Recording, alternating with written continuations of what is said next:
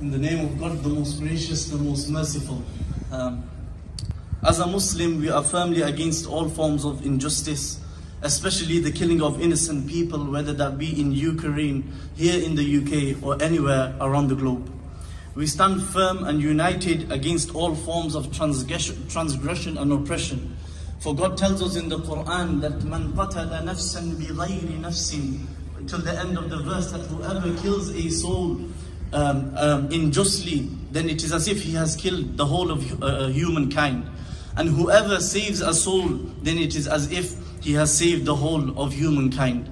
We are taught in Islam, as a Muslim, we are taught that it, the world and its passing away is insignificant in the eyes of, uh, eyes of the Lord than for an innocent soul, for their soul to be lost. Our Prophet Muhammad, may, may Allah's blessings and peace be upon him, he tells us in a very profound statement that we should support our fellow brothers whether they are the oppressed or the oppressors. The companions then asked, we know how to help the, help the oppressed, but how do we help the oppressor? He replied by saying, by putting a stop to his oppression. By putting a stop to his oppression.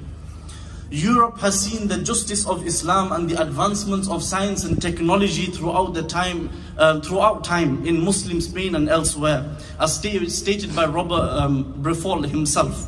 And Europe will carry on witnessing the unshakening, unwavering justice of Islam from Muslims against all atrocities, the likes of which we are seeing, seeing today in Ukraine. However, my quick speech, which will be another couple of minutes, is very different to the, uh, the, the, the honorable guest here. What hurts myself as I am a Muslim and I speak on behalf of the Muslims and I speak on behalf of the Muslim community is unfortunately the blatant hypocrisy that we see towards me, which the media like CBS News has called the uncivilized human. And why is it? As BBC perfectly replies, it is because I don't have white skin, I don't have blue eyes, and I don't have blonde hair. We, the sons and daughters of humanity, of Adam and Eve, should we not stand for all of injustice? Should we not stand uh, against all injustice? Should not the dead in Afghanistan and Iraq and Palestine be the same as, the, as those who are killed unjustly in Ukraine? When the Palestinian flag was waved in the stadiums, FIFA told was uh, uh, forcefully took them down and was and FIFA themselves said that they have no place in politics.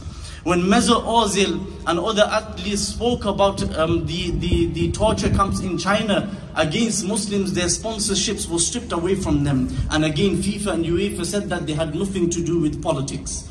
But when football teams now speak about the atrocities that are taking place in Ukraine, when Ukrainian flags are waved in the stadium, they are applauded and FIFA themselves are praising this. We have no objection to this. In fact, we support this. We want this.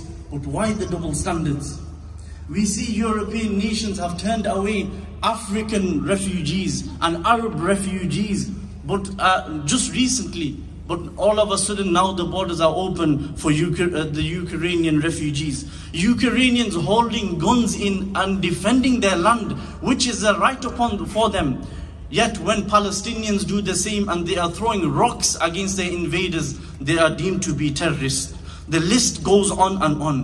Why the double standards? Is my skin and blood cheaper than that of my white neighbor? Do I have to inject myself full of oil and gold for the West to treat me the same as any other European. Be against injustice wherever it is and for no matter what is, uh, who it is. The killing of an innocent soul in Ukraine, Ukraine should shake your heart just the same as if it was the killing of an innocent soul in Palestine. Let's, let's not be a globe of 7 billion people with 14 billion faces. Again, let's not be a globe of 7 billion people with 14 billion faces. And I end with this.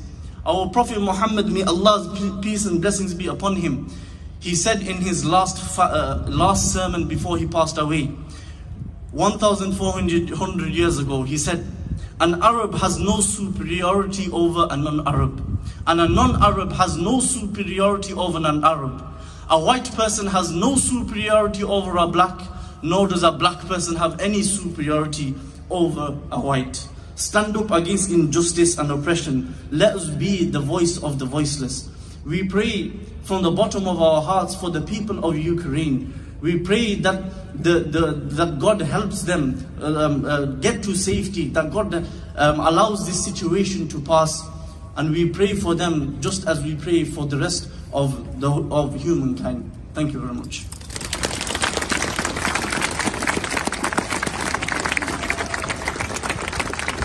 Thank you, Iman, and thank you to all our speakers this evening. That just about finishes it. Before we go, though, uh, we've had a, a minute's silence, but I think it's appropriate that we have a minute's applause for all the people in Ukraine that suffer.